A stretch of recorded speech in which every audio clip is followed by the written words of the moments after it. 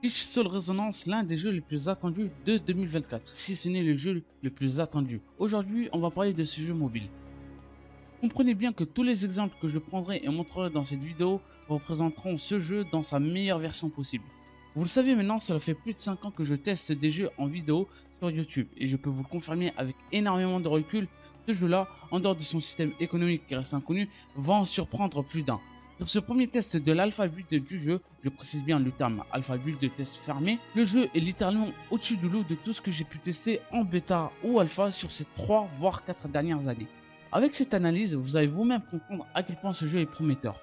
Nous allons aborder 4 jeux qui sont vraiment similaires dans le gameplay, mais Bleach Soul Resonance reste différent et meilleur sur certains points. Tout d'abord, on repart sur l'analyse rapide du trailer.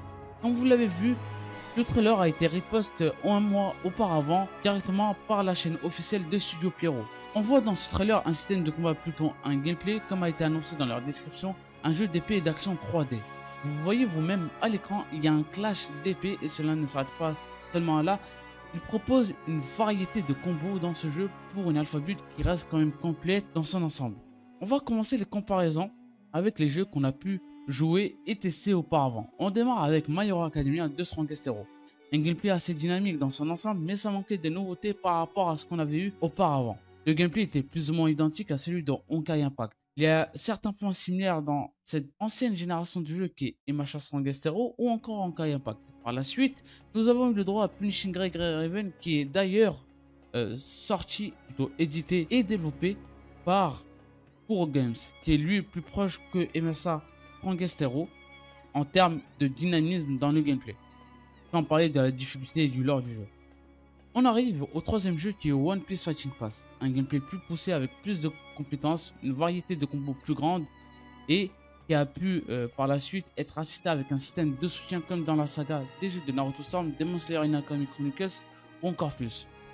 Maintenant, mélangeant toutes les idées implantées dans ces différents jeux, à l'exception de Punishing Grey Raven dû à son gameplay unique, avec des améliorations largement meilleures et des meilleurs réajustements.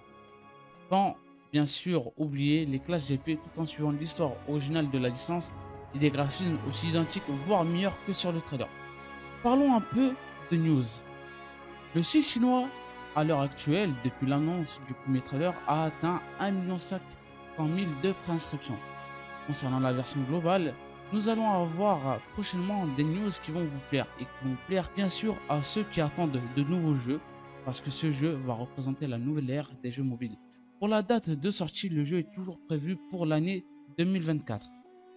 Entre cette semaine et la semaine prochaine, des annonces seront faites sur leurs réseaux sociaux avec beaucoup de choses qui vont vous intéresser et vous plaire. J'en dis pas plus, petit pouce bleu et abonnez-vous à la chaîne, ça me ferait énormément plaisir. Sur ce, je vous dis ciao et à la prochaine. Peace